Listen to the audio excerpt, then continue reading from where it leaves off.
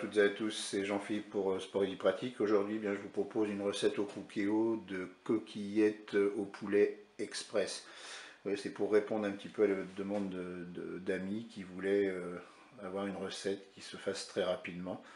Donc euh, pour cette recette, ça va être simple. Je vais mettre 400 g de coquillettes.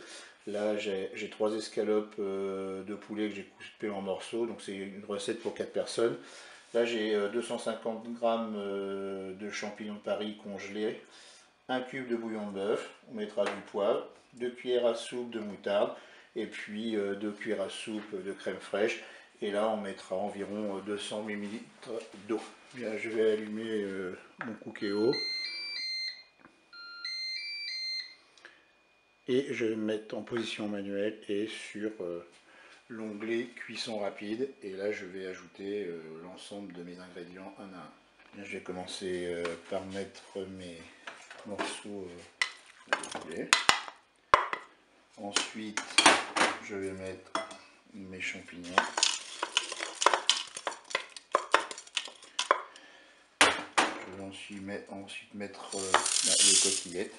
Je vais mélanger un petit peu.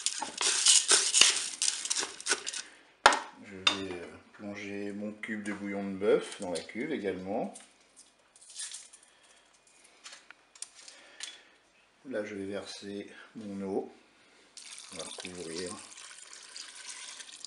Ah, j'en ai mis 200, je vais un petit peu plus. Couvrir un petit peu quand même, à juste couvrir euh, l'ensemble des ingrédients. Et ensuite, je vais poivrer je vais mettre deux cuillères à soupe de moutarde.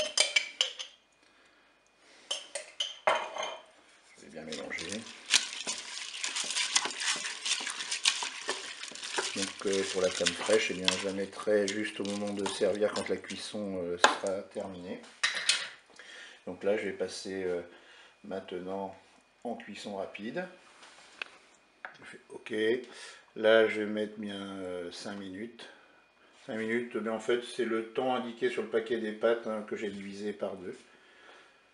Je fais OK. Je vais faire un départ immédiat. Je vais pouvoir fermer mon couvercle. Et puis, c'est parti pour euh, la cuisson.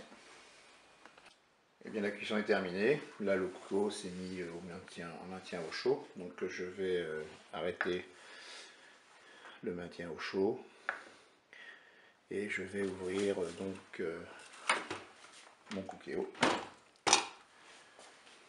Je vais maintenant euh, mélanger un peu l'ensemble des ingrédients.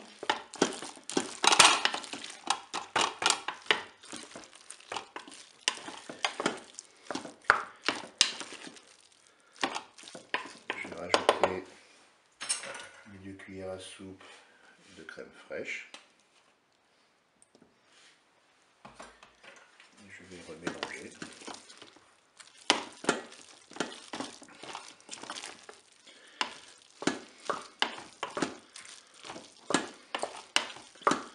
il ne me reste plus qu'ensuite euh, eh bien, à servir chaud. Eh bien, j'espère que cette recette vous plaira et je vous dis à bientôt.